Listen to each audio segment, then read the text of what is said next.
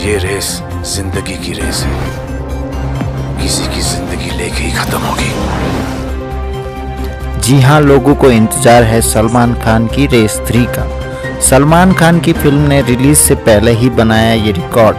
आमिर भी रह गए पीछे।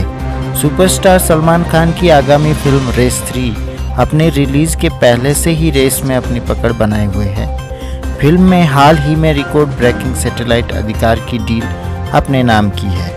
इस डील के लिए बहुत बड़े नेटवर्क ने पहली बार सुपरस्टार सलमान खान के साथ हाथ मिलाया है। जी हाँ सलमान की रेस थ्री ने बॉलीवुड के इतिहास में सबसे ज़्यादा सैटेलाइट राइट्स अपने नाम किए हैं। खबरों की माने तो फ़िल्म के अधिकार करीब 130 करोड़ रुपए में बिके हैं।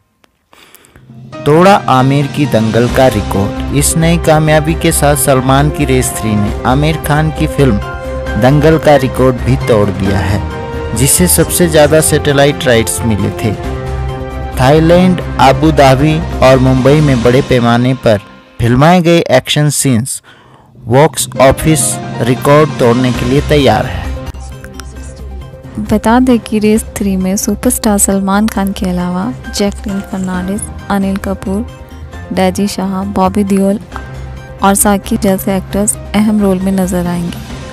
सलमान खान फिल्म्स और रमेश तोरानी द्वारा प्रोड्यूस्ड इस मूवी को टिप्स फ़िल्म के बैनर तले बनाया गया है। इस नई कामयाबी के साथ सलमान की रेस थ्री ने आमिर खान की फ़िल्म दंगल का रिकॉर्ड भी तोड़ दिया है, जिसे सबसे ज़्यादा सैटेलाइट्स राइट्स मिले थे।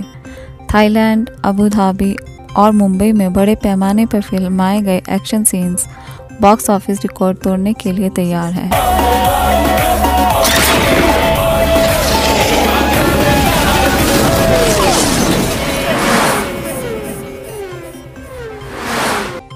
जी हाँ इंतज़ार कीजिए 15 जून का।